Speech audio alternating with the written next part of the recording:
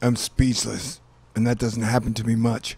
I don't know what I'm looking at, but it definitely looks like climate change chaos. Well, I guess get busy living or get busy dying. All right, ladies and gentlemen, smoke 'em if you got 'em. Find somebody you love and go give them a hug. I ain't never seen a storm like this.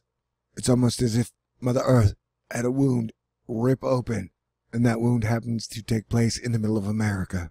And as I'm recording this right now, it looks like the overall storm system is just getting bigger. I mean, that is crazy. And the forecasters forecast this to last. Stay cool. This is a Thor News presentation. Thor News presents Asteroid Fight Club is some scary shit. This is insane. This is one scary Super Frankenstein storm. I keep watching this thing, and it keeps tearing back. I ain't never seen a storm like that. It definitely looks dangerous. It's red alert time. This is the reason I took my weird weather watch up a notch. So that's just nasty. Now, I've been covering the weather here at Thor News for about four years. And it comes in pulses. It's almost as if Earth was getting hit with a pulsar. I don't know if that means our home star, the sun, or some other sun. But that is just incredible. That don't look good. And the weather just keeps getting weirder. It's going to be a long night, that's for sure. A lot of people are going to wake up to wind damage and floods. Everybody say your prayers.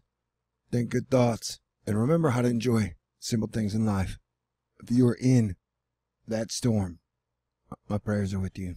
If the world cracks in half today, I wasn't perfect, but I lived with as much love, compassion, and dream weaving as I could for my family, friends, and fellow man. Man, we really need to put it all together. Stop our bullshit, frissy sissy, arguing over dumb shit. Like, what more do you need to know when all the meteorologists start to freak out? It's definitely time to pay attention.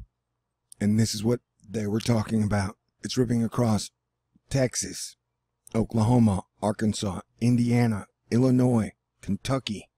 That, and I have never seen a storm like that. So I will stay on top of this, keep y'all posted. But please take this seriously and let this affect how you think of the future and how you treat your fellow mankind. Because we are all going through the scary shit together. We have to be like Act 3, romantic comedy action adventure film, where we agree to put aside our petty differences, find common ground, and work together as a one Earth family and one big team to get past the major challenges that face us all on Earth. This is Star Lord New Thor 7, and this is some crazy crap. I'll be back soon. Man, can I get a hug? I need a hug. tired of weather. Definitely need a hug. Whatever. That is wild. My prayers are with you. All the people in the line of the system. I don't know what's going on. Yeah, that storm is wild. Alright, I'll be up all night, I guess. Alright. I'll be back soon. And when I said it seems like Ari's kind of freaking out, I knew what I was talking about.